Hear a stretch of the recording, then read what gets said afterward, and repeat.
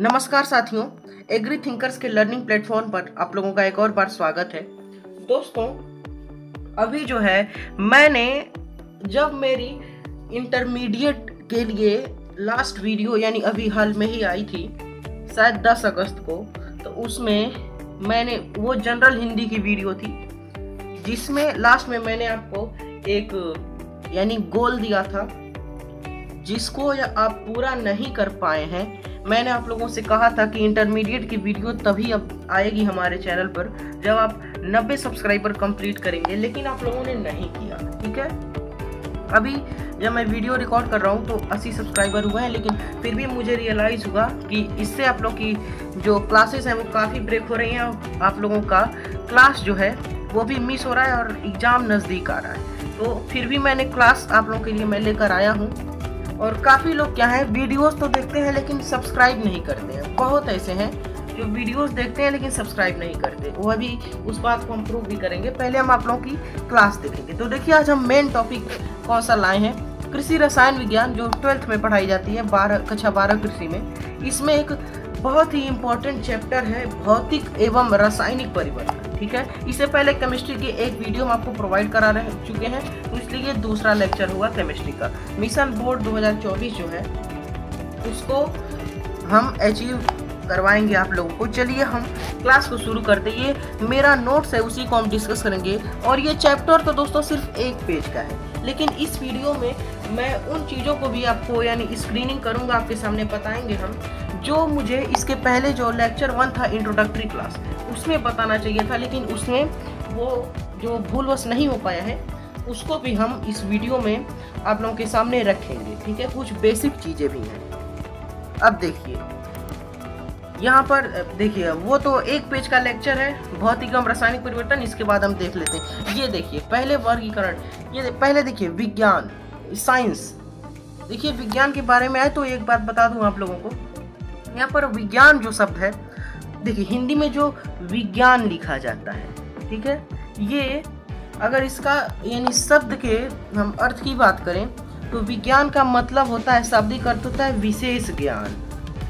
विज्ञान का मतलब होता है विशेष ज्ञान स्पेशल नॉलेज विज्ञान का अर्थ होता है क्या? स्पेशल नॉलेज ठीक है? और यह संस्कृत भाषा के शब्द। देखिए, विज्ञान जो शब्द है, यह संस्कृत भाषा के शब्द विज्ञानम से निकला है। और ये विज्ञानम जो है, ये ऋग्वेद जो है हमारा, जो सबसे पुराना वेद है, उसमें ऋग्वेद वो है। उसी में इसका उल्लेख किया गया है। अब देखिए, विज्ञान तो संस्कृत भाषा का शब्द है, अब साइंस, ठीक है, जो इंग्लिश टर्म उसका होता है S C I E N C science जो है ये लैटिन भाषा, ठीक है, लैटिन वर्ड एक है, साइंटिया, वहाँ से निकला है, देखिए S C I E N T I A Latin भाषा के शब्द साइंटिया से निकला है, और उसका अर्थ होता है सुव्यवस्थित ज्ञान, जैसे विज्ञान का परिभाषा ही होता है, सुसंगठित, सुव्यवस्थित एवं क्रमबद्ध ज्ञान जो होगा, उसी को विज्ञान कहेंगे। अब इसकी आप क्लासिफिकेशन देखिए, ठीक है? अब एग्रीकल्चरल केमिस्ट्री के फादर मैंने आपको काफ़ी वीडियो में बताया जे बी लिबिक हो जाएँगे और वैसे नॉर्मल केमिस्ट्री के लेबोशियर होते हैं, ठीक है? तो वो भी आप याद रखेंगे। अब देखिए, यहाँ पर दो होता है फ़िज़िकल साइंस और यहाँ पे बायोलॉजी यानी जीव विज्ञान। भौतिक विज्ञान और जीव विज्ञान। देखिए, अब फ़िज़िकल साइंस की फिर चार शाखाएँ हैं। फ़िज़िकल साइंस यानी निर्जीवों का नॉन लिविंग्स का और बायोलॉजी जो है वो आपका हो जाएगा सजीवों का, जो जीव विज्ञान है। अब देखिए फ़िज़िकल साइंस में चार आपका आता है फिजिक्स केमिस्ट्री जियोलॉजी और एस्ट्रोनॉमी यानी भौतिक भौतिकी, रसायन विज्ञान, भूगर्भ विज्ञान, खगोल विज्ञान। अब भौतिकी जो है, ये संस्कृत भाषा का शब्द है, भौतिकी, वो भी आप याद रखेंगे। भौतिकी के में भौतिक पदार्थों का अध्ययन और रसायन विज्ञान में रासायनिक पदार्थों का अध्ययन। वो रसायन विज्ञान होगा देखिए, रसायन, ठीक है? इसका हम संधि विच्छेद करें। तो रसायन का अर्थ होता है रस प्लस आयन यानी उसमें रस रसों का, यानी जो केमिकल्स होंगे लिक्विड वाले उनका अध्ययन किया जाता है तो वहाँ पे। अब देखिए, भूगर्भ विज्ञान जिसको जियोलॉजी कहते हैं, पृथ्वी के अंदर का अध्ययन। खगोल विज्ञान में, ब्रह्मांड का अध्ययन एस्ट्रोनॉम अब उसके बाद से देखिए, सजीवों में माइक्रोबायोलॉजी जूलॉजी और बॉटनी यानी सूक्ष्म जैविकी जंतु विज्ञान, वनस्पति विज्ञान। जंतुओं का अध्ययन, वनस्पतियों का अध्ययन सूक्ष्म जैविकी में सूक्ष्म जीवों का अध्ययन, जैसे रोग वगैरह का, जीवाणु वगैरह का अध्ययन। इसमें से जो आपके काम का है, वो है physical science biology microbiology zoology botany ये जो चारों हैं, यह आपसे नहीं पूछा जाएगा। ठीक है? अब देखिए। यहाँ पर देखिए, हम भौतिकी तथा रासायनिक परिवर्तन भी लाए हैं, उसको हम अभी डिस्कस करेंगे। ये देखिए, पदार्थ जो है, ये मैं आपको बता चुका हूँ पिछली वीडियो में, लेकिन फिर हम एक बार देख लेते हैं। यहाँ पे मैं काफ़ी सारी पुस्तकों से जानकारियाँ जो हैं, वो यहाँ पर संकलित करता हूँ। प्लस अपनी भी जानकारी यहाँ पर हम लाते हैं। किसी एक पुस्तक से आपको नहीं बताया जाता है। देखिए, यहाँ पे पदार्थ, भौतिक वर्गीकरण, रासायनिक वर्गीकरण। भौतिक वर्गीकरण में ठोस द्रव, गैस और इसके अलावा भी काफ़ी सारे बाईस होते हैं बाईस तेईस, जो मैंने आपको इसके पिछले वीडियो में बताया ठोस द्रव, गैस, प्लाज्मा बीईसी यानी Bose Einstein condensed, dropleton, photonic matter. लेकिन आपको सिलेबस में liquid, gas, solid, plasma BEC यही तीनों पढ़ना है। पाँचों, अब देखिए रासायनिक वर्गीकरण में शुद्ध पदार्थ मिश्रण। शुद्ध पदार्थ में तत्व यौगिक, मिश्रण में समांग, विषमांग। तत्व में धात्विक अधात्विक और और यौगिक में कार्बनिक और कार्बनिक, ये सारी चीज़ें होती हैं, ठीक है? अब देखिए, हम आते हैं जो हमने थंबनेल पर मेंशन किया है वो टॉपिक यहाँ पे अध्याय ये एक है इसको आप जो है, अध्याय जो दो लिखा है, इसको आप काट देंगे। ये अध्याय एक है, ठीक है? अब देखिए, भौतिक तथा रासायनिक परिवर्तन फ़िज़िकल एंड केमिकल चेंजमेंट देखिए भौतिक परिवर्तन फ़िज़िकल चेंजमेंट या फ़िज़िकल चेंज आप कह सकते हैं। देखिए, जब किसी पदार्थ के भौतिक गुण, यानी अवस्था, रंग, आकार, रूप आदि कुछ समय के लिए बदल जाते हैं, लेकिन किसी नए पदार्थ का निर्माण नहीं होता है, भौतिक परिवर्तन कहलाते हैं। आप ये सिंपल सा ध्यान रखिए कि जो थोड़े समय की हो, लिए होगा। ऐसा परिवर्तन जो कुछ समय के लिए होगा, वो भौतिक परिवर्तन। और यहाँ पे एक लाइन ऑफ़ और जोड़ देंगे कि परिवर्तन का कारण हटाने पर पदार्थ पुनः अपनी प्रारंभिक अवस्था में आ जाए। जैसे कोई पुस्तक है, ये एग्ज़ाम्पल कोई पुस्तक है, आपने उसे हाथ से उठाया, दूसरी जगह रख दिया। ये हो गया आपका भौतिक परिवर्तन। फिर आपको उस उठाएँगे, दूसरी जगह रख देंगे तो बदल गया, थोड़े समय के लिए हुआ, ठीक है? तो भौतिक परिवर्तन जो है, यही होता है, यानी कुछ समय के लिए होता है, और उसमें यानी पदार्थ एकदम नहीं बदल जाता है। कुछ समय के लिए बदल जाते हैं, अवस्था, रंग, आकार, ये सारी चीज़ें। ये आपको सिंपल सा रखना है। कि जो कम समय टाइम के लिए होगा, भौतिक में जाएगा और जो हमेशा के लिए बदल जाएगा, वो रासायनिक में जाएगा, वो भी हम देख, ये देखिए, भौतिक में बल्ब का जलना, कपूर का ऊर्ध्वपार्तन ये ऊर्ध्वपार्तन जो सब्लिमेशन होता है, इसकी पिछले वाली वीडियो में हमने कवर कराया हुआ है ऊर्ध्वपार्तन कपूर का नौसादर का आयोडीन का नेथिलीन का होता है तो वो आप देख लेंगे इंट्रोडक्टरी क्लास में बताया है हमने। उसके बाद से लोहे का चुंबक बनना, मोम का पिघलना। मोम का पिघलना भौतिक होगा, मोमबत्ती का जलना रासायनिक होगा, क्योंकि मोमबत्ती जलेगी तो कैसे भी निकलेंगी कार्बन मोनोऑक्साइड जैसे। बर्फ़ का पिघलना, वाष्प का बनना पेड़ों की कटाई छटाई, इसको प्रूनिंग कहते हैं। नमक का जल में घोलना, गन्ने के रस से सिरके का बनना, ये सारी चीज़ें। यह एक टेम्परेरी है। ये मैंने बताया अस्थायी है, कुछ समय के लिए होता है। रासायनिक परिवर्तन केमिकल चेंजमेंट इसमें कोई पदार्थ परिवर्तित होकर बिल्कुल नए पदार्थ में आ जाता है। नए यानी उत्पादित पदार्थ के जो गुण धर्म होंगे, वो मूल पदार्थ से बिल्कुल भिन्न होते हैं। देखिए, ये हमेशा के लिए होता है, यानी रासायनिक है तो वो ऑल टाइम के लिए होगा, हमेशा के लिए। वही यहाँ पर दिया गया, और जो पदार्थ है, वो बिल्कुल बदल के नए पदार्थ में आ जाएगा। ये नहीं कि रंग, अवस्था, आकार बदलेगा, सिर्फ़ भौतिक परिवर्तन की तरह। देखिए, यह स्थायी होता है, यानी परमानेंट होगा। एग्ज़ाम्पल में देखिए, मोमबत्ती का जलना बताया, भोजन का पचना फल का पकना, भोजन का सड़ना, दूध से दही का बनना, लोहे में जंग लगना, कागज़ का जलना, गोबर गैस का बनना, गन्ने के रस सॉरी दोस्तों, गन्ने के रस से जो सिरका बनता है वो रासायनिक देखिए, अब आपका हो गया खत्म। टॉपिक खत्म हो गया आपका, ये चैप्टर इतना ही था। काफ़ी छोटा चैप्टर है बहुत आसानी से। इसमें रटना नहीं है, सिर्फ़ आपको समझना है। उसके बाद से आप उसको अपने शब्दों में लिखेंगे इसमें से कुछ कीवर्ड्स आप निकाल लेंगे जैसे अस्थाई और अस्थाई और उत्पादित पदार्थ। कुछ समय के लिए परमानेंट टेम्परेरी वो सारी चीज़ें जो है आप निकाल लेंगे। कुछ देखिए एग्ज़ाम्पल सबसे महत्वपूर्ण है, सबसे ज़्यादा पूछा जाता है मोमबत्ती का जलना और जो है आपका कपूर का उध्वपार्तन और बल्ब का जलना। सबसे ज़्यादा पूछा जाता है कपूर का उध्वपार्तन ये मोस्ट इंपॉर्टेंट है तो वो भौतिक में जाएगा। अब देखिए, कुछ इंपॉर्टेंट चीज़ें। अब दोनों में हम अंतर देख लेंगे तो और अच्छे से याद हो जाएगा। देखिए यहाँ पर। भौतिक परिवर्तन में, इस परिवर्तन में पदार्थ के केवल भौतिक गुण, रंग, अवस्था आकार कुछ समय के लिए बदलते हैं, कोई नवीन पदार्थ नहीं बनता है। बताया हमने आपको, रासायनिक में पदार्थ बिल्कुल बदल कर नया हो जाता है, जिसमें गुण और मूल, जो गुणधर्म होते हैं, वो मूल पदार्थ से बिल्कुल भिन्न होते हैं, ठीक है? और भौतिक में इस परिवर्तन में पदार्थ की आंतरिक रचना में अंतर नहीं आता, इसमें अंतर आ जाता है। और भार में अंतर नहीं आता, इसमें भार में भी अंतर आता अस्थायी है अस्थायी है। भौतिक रीतियों द्वारा परिवर्तन कारण हटाने पर पूर्ण पूर्व अवस्था में आ जाता है, बताया हमने। और ये पूर्व अवस्था में नहीं आता है। एक याद हो जाएगा, दूसरा आप अपने आप लिख लेंगे। ये अंतर भी पूछा जाता है काफ़ी। अब देखिए, इन परिवर्तनों में उष्मा प्रकाश आदि उत्पन्न न होता है, नहीं अवशोषित। इसमें उत्पन्न भी होता है, अवशोषित भी होता है। ठीक है?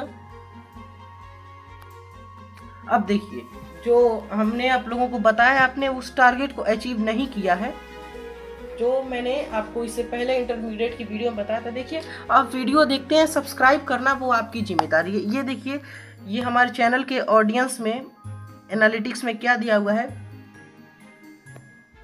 Watch time from subscribers last twenty eight days इसमें देखिए क्या आप लोगों की नॉट सब्सक्राइब जो हमारे 89.7 परसेंट व्यूअर्स हैं, जो स्टूडेंट्स हैं, वो सब्सक्राइब नहीं करते। सिर्फ़ 10.3 परसेंट ही सब्सक्राइब करते हैं चैनल को। तो जो सब्सक्राइब कर लिए हैं, उन्हें ये समझ में आ गया है कि इस चैनल से ही उनका जो बोर्ड पेपर में हाईएस्ट मार्क गेन करने का जो ड्रीम है, वो पूरा होगा। ठीक है? अब आप सब्सक्राइब नहीं करेंगे तो आप पूरे यूट्यूब पर भटकेंगे काफ़ी सारे चैनलों पर। सर्च कर करके आपको टॉपिक देखना पड़ेगा। अगर आप सब्सक्राइब कर लेते हैं तो वहाँ से जो है आपका, आप नोटिफिकेशन आएगी, आप क्लिक करके तुरंत देख लेंगे। टॉपिक भी सर्च करने की ज़रूरत आपको नहीं पड़ेगी। नहीं तो पूरे यूट्यूब पर भटकते रह जाएँगे और मिलेगा भी नहीं आपको जल्दी। इतने सिस्टमेटिक वे में। अब देखिए, हम पहले क्लास आपको समझाते हैं, फिर हमारे व्हाट्सएप ग्रुप में पीडीएफ नोट्स आपको प्रॉपरली मिलते हैं। मैंने आप कहा भी आप नोट बनाना चालू कर दीजिए।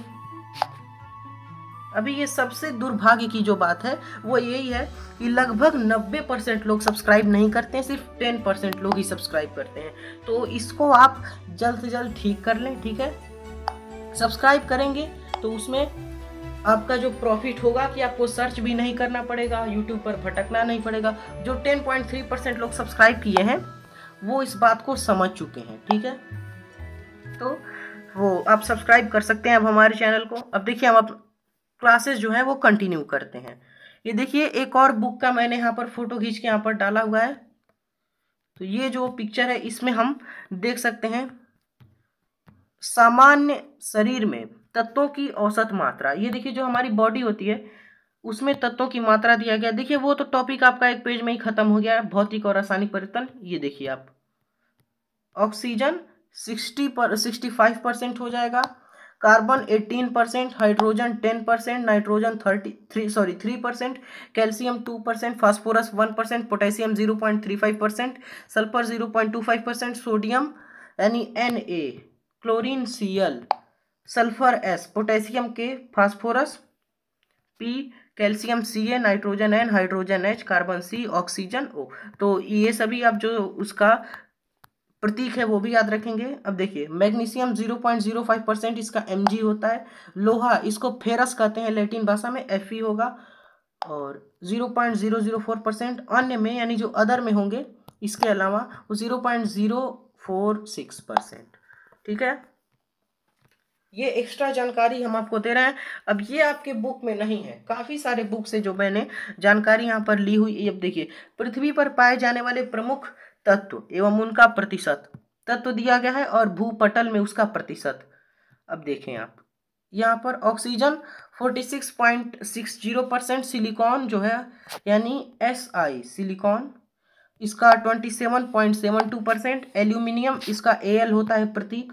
इसका 8.13 परसेंट और फेरस का 5 परसेंट, कैल्शियम का 3.6 percent, sodium 2.83 percent, potassium 2.59 percent, magnesium 2.09 percent और टाइटेनियम, इसको टिटेनियम भी कहते हैं यहाँ पर, इसका टी आई होता है 0.44 परसेंट, हाइड्रोजन 0.1 पर 0.14 परसेंट।